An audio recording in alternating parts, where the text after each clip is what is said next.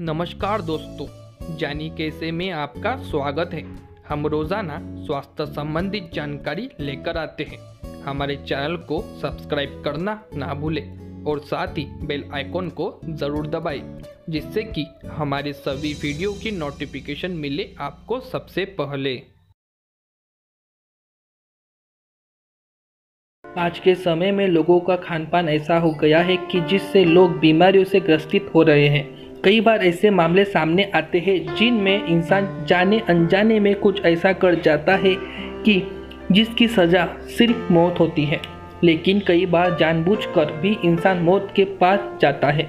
आज हम आपको कुछ ऐसा ही मामला बताने जा रहे हैं जिससे बारे में सुनकर आप विश्वास नहीं करेंगे, क्योंकि एक परिवार की आलू खाने से मौत हो गई है। शायद आप इस बात को झूठ मान रहे हो, लेकिन ये बिल्कुल सच है।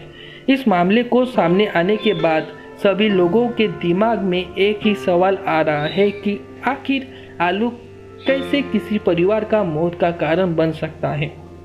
चलिए, आज हम आपको बताते हैं कि कैसे आलू ने परिवार के लोगों की हत्या की है। सूत्रों से मिली जानकारी के अनुसार ये मामला रूस का है। आपको जानकर हैरानी होगी कि एक एक आठ साल की बच्ची ने अपना पूरी परिवार एक आलू की वजह से खो दिया और वो छोटी में ही अनाथ हो गई।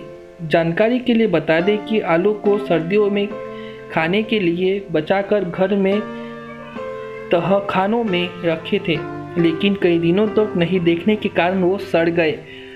उससे जहरीली गैस निकलने लगी। परिवार से सभी लोग वहीं पर बेहोश होकर गिर पड़े।